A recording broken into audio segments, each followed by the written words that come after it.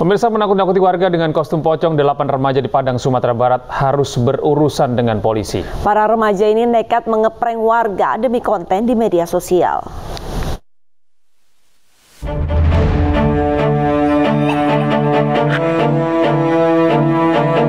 Ada-ada saja aksi yang dilakukan sejumlah remaja di kota Padang ini. Bertujuan hanya untuk menambah followers media sosialnya, mereka sengaja membuat konten prank pocong dengan menakut-nakuti warga. Aksi ini pun meresahkan warga yang melintas di Jalan Raya Tanah Sirah, Kecamatan Bungus, Tulukabung, Kota Padang. Petugas kepolisian dari Babin Kamtipmas Polsek Bungus beserta perangkat desa pun akhirnya turun tangan. Petugas mendatangi TKP dan berhasil mengamankan delapan remaja yang tengah asik ngeprank. Para remaja ini pun dibawa ke kantor lurah setempat. Di depan orang tua masing-masing, mereka pun diwajibkan menandatangani surat perjanjian untuk tidak mengulangi perbuatannya tersebut. Ada masyarakat melaporkan ke kantor lurah bahwasanya ada pocong di Jalan Tanah Sirah RT 03 RW 7 Kelurahan Bungus Barat. Hmm. Mendapat informasi tersebut, saya selaku Babin Kantipmas menjaga keamanan dan ketertiban masyarakat. Jadi kami bersama lurah sepakat melaksanakan patroli malam. Polisi pun mengimbau para remaja untuk tidak melakukan aksi nekat serupa. Mengingat hal ini bisa menyebabkan trauma dan membahayakan para warga yang melintas. Dari Padang, Sumatera Barat, Budi Sukandar, iNews melaporkan. Aduh ini uh, bahaya ya, sebenarnya dianggap buat bercandaan sebenarnya untuk konten. Kalau yang ditakut-takutin itu kebetulan punya penyakit jantung, nah, itu, itu bisa berbahaya sekali. Tapi kalau misalkan maupun menambah follower ya Mbok jangan ngeprank warga, hmm. tapi bu buktikan prestasi apa Dengan yang prestasi, bisa gitu. digali gitu. sama si remaja-remaja ini iya. ya. Kalau memilih menggunakan prank, Mbok ya jangan pocong gitu. Sekali kan kuntilanak gitu juga jadi agak Biar ada effort, effort gitu ya. Naik-naik di atas pohon gitu kan.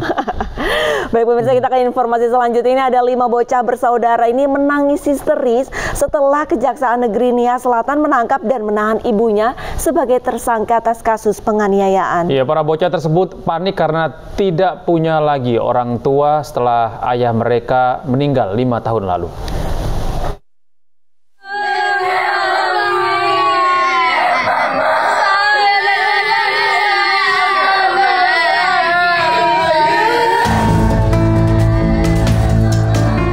Bocah kakak beradik ini hanya bisa menangis histeris di teras rumahnya di Nia Selatan, Sumatera Utara setelah ditinggal ibu kandung mereka, Erlina Zebua.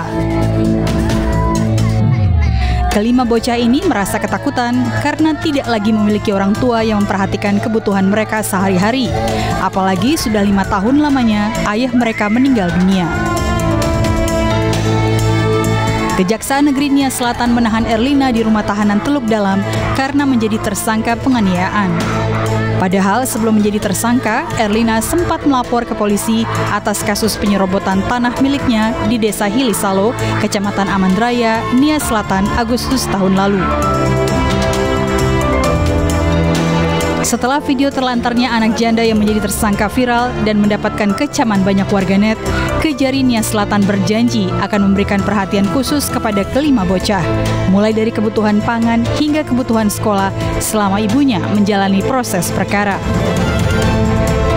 9 Mei 2023 dilaksanakan penyerahan tanggung jawab tersangka dan barang bukti dari penyidik kepada uh, penuntut umum.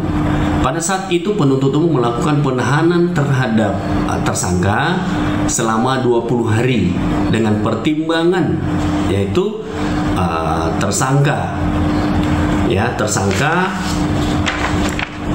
dikhawatirkan melarikan diri, merusak dan menghilangkan barang bukti dan atau mengulangi tindak pidana sesuai dengan ketentuan pasal 21 KUHP. Penahanan Erlina sebagai tersangka selama ini tidak diketahui memiliki anak-anak. Karenanya, belum pernah ada pihak keluarga memberikan permohonan keringanan hukum atau menjamin bagi tersangka.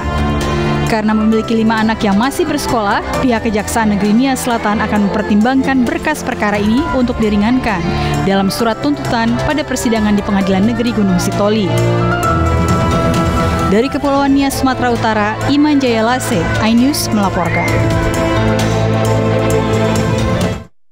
Band asal Inggris Coldplay masih menjadi perbincangan masyarakat setelah banyak yang tidak kebagian tiket dan atau bahkan banyak juga yang tertipu. Dengan modus jasa titip kali ini ada yang menarik karena ada pasangan pengantin yang menjadikan tiket Coldplay sebagai mas kawin atau mahar.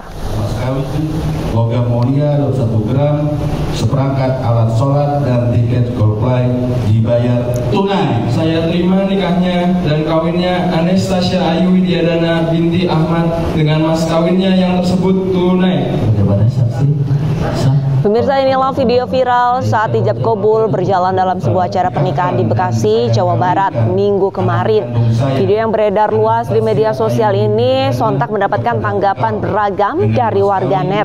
Selain menyerahkan mas kawin logam mulia 21 gram dan seperangkat alat sholat, pengantin pria bernama Farid Skiap juga memberikan mahar kepada mempelai wanita Anastasia Ayu Widyadan berupa tiket konser musik Coldplay yang akan manggung di Jakarta pertengahan November nanti di Stadion GBK Jakarta. Saya kawinkan anak kandung saya Anastasia Ayu Widyadana kepada engkau dengan mas.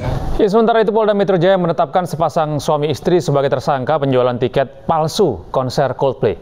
Dari hasil penyidikan sementara ada 60 orang sebagai korban dengan kerugian 270 juta rupiah.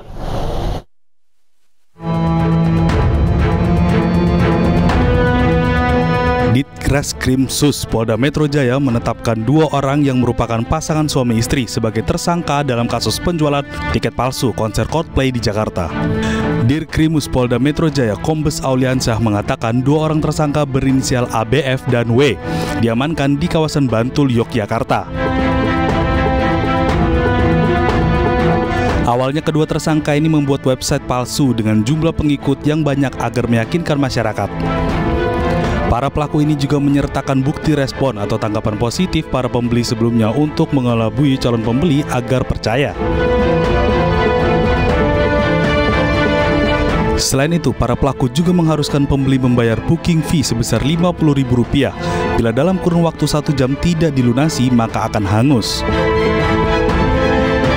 Perkembangan dari hasil penyelidikan itu, kami telah mengamankan dua orang yang mana mereka adalah uh, melakukan penipuan terhadap masyarakat terkait dengan penjualan tiket cosplay.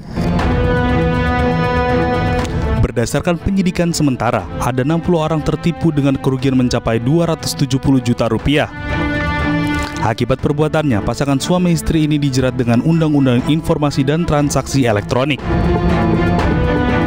berharap banget kasus ini bisa dibantu dengan teman-teman sekalian netizen-netizen sekalian biar diangkat kasus ini karena gue yakin bukan cuma gue korbannya. Depannya buat gue sendiri, buat manajer gue dan buat teman-teman sekalian please hati-hati banget buat justip-justipan seperti ini. Sebelumnya, seorang influencer dari Palembang jadi korban penipuan tiket konser Coldplay. Ia tertipu sebesar Rp12.500.000 untuk pembelian dua tiket. Melalui kuasa hukumnya, korban melapor ke Mapolda Sumatera Selatan dengan melampirkan beberapa barang bukti transfer serta pembelian tiket. Percakapan aplikasi pesan serta akun media sosial Instagram pelaku. Dari Jakarta, Kevin Pakan, Ilham Elias, iNews melaporkan. Pasca viral di media sosial, arisan sosialita bernilai 2,5 miliar rupiah dibidik petugas pajak. Seluruh peserta arisan akan diminta klarifikasi terkait pemenuhan kewajiban pajak mereka.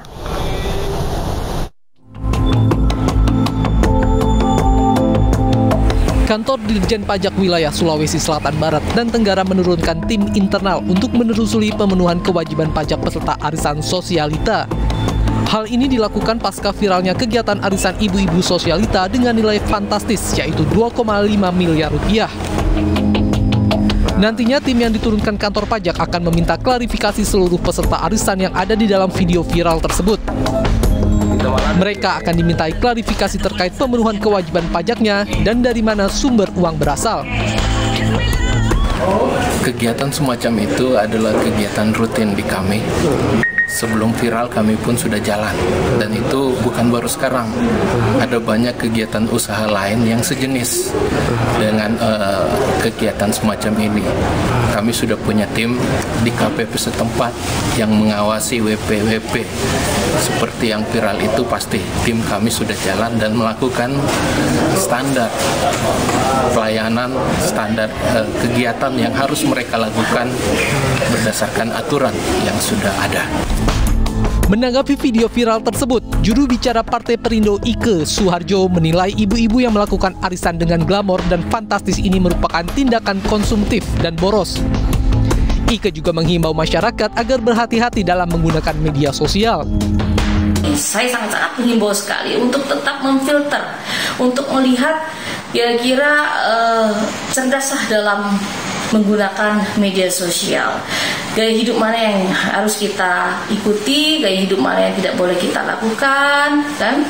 Yang kedua juga harus tetap waspada dan hati-hati.